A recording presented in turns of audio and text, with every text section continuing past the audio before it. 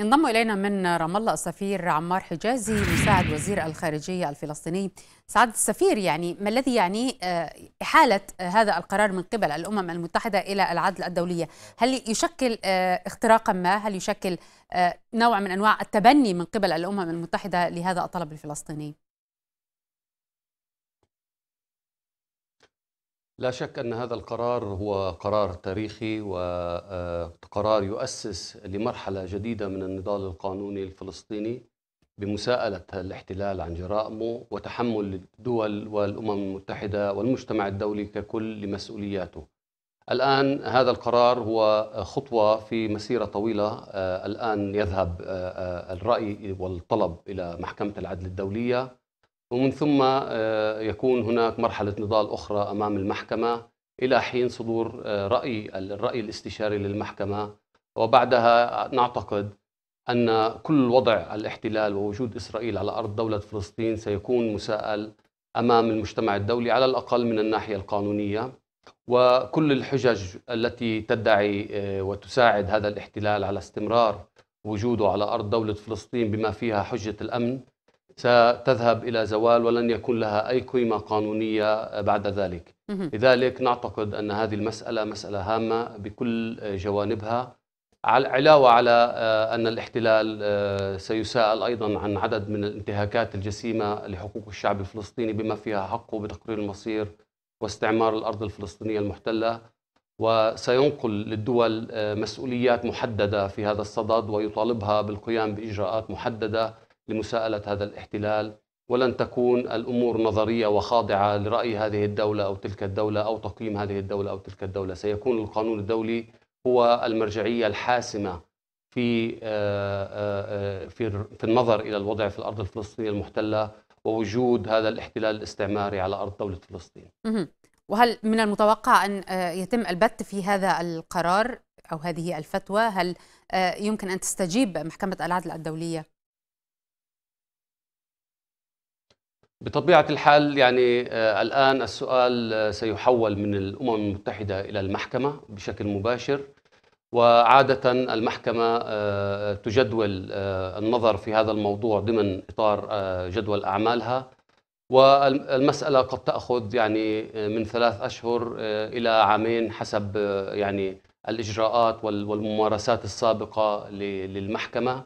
ولكن نتوقع أن يكون هناك إجراءات سريعة من قبل محكمة العدل الدولية وسنكون حاضرين بطواقمنا وفرقنا القانونية ونحن نحضر لهذه المسألة منذ فترة طويلة آه، ولذلك يعني نحن جاهزون لهذه المسألة ونتوقع أن يصدر قرار المحكمة خلال يعني عام بحد أدنى ولكن طيب. آه، آه، ربما يمتد أكثر من ذلك. المسار آه، القانوني يعني بعد إحالة هذا القرار إلى محكمة العدل الدولية ثم ما تفضلت بذكره من ممارسات قانونية تشبه المرافعات أمام المحكمة محكمة العدل الدولية. يعني في حال بتت لصالح هذا القرار يعني ألية التنفيذ لمثل هذا الأمر. هل تعيد إحالته مرة أخرى إلى الأمم المتحدة لاتخاذ آه، آه، آليات تنفيذية؟ طبعا يعاد إلى الأمم المتحدة لأن الأمم المتحدة والجمعية العامة هي التي آه، قدمت السؤال إلى محكمة العدل الدولية. ويتم تبنيه من قبل الجمعية العامة ويصبح مرجعية قانونية. هو بحد ذاته مجرد ما ان ينطق الرأي الاستشاري يصبح مرجعية قانونية ملزمة. آه، اخلاقيا وقانونيا آه، ضمن إطار القانون الدولي. ولكن آه، القرار سيعاد إلى الجمعية العامة التي طلبته ويتم تبنيه أيضا من الجمعية العامة ولدينا تجربة سابقة في هذا الموضوع. حتى الدول التي عارض عارضت طرح طلب رأي استشاري من محكمة العدل الدولية حول الجدار في المرات السابقة أيدت الرأي عندما صدر من المحكمة. آه، إذا سنرى تأييد أيضا من عدد من الدول التي لم تؤيد آه، طلب الرأي بحد ذاته ولكن عندما يصدر الرأي يختلف الوضع ويصبح آه، قانون دولي ومرجعيات دولية ولا يمكن تجاوزها من أي دولة. ولكن تبقى مسائل يعني من نوع السياسات التي تمارسها القوى الاستعمارية الداعمة لإسرائيل واحتلالها.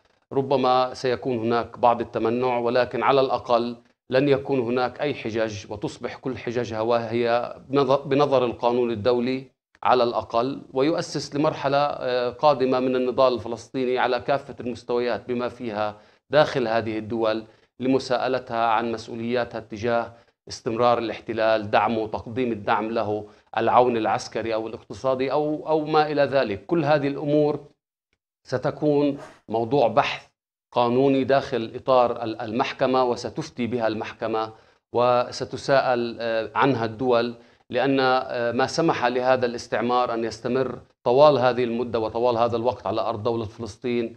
هو الغطاء الدولي الممنوح له تحديدا من قبل آه، الولايات المتحدة الأمريكية والمملكة المتحدة وغيرها من الدول التي تدعم هذا الاحتلال بكافة الأشكال والوسائل ولا تسائل عن أي من جرائمه بما فيها استمراره لاستعمار الأرض الفلسطينية المحتلة وقتل الفلسطينيين وتدمير حياتهم بشكل يومي.